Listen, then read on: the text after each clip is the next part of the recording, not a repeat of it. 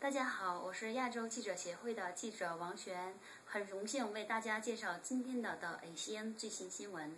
今天的一则新闻是关于在韩国生活的中国朝鲜族同胞的。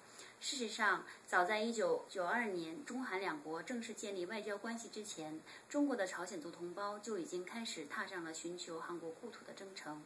而详细记述他们在韩国生活经历的名为《梦想成真》的图书，最近也在韩国出版，并在《吉林日报》韩文版的首发仪式上同韩国读者见面。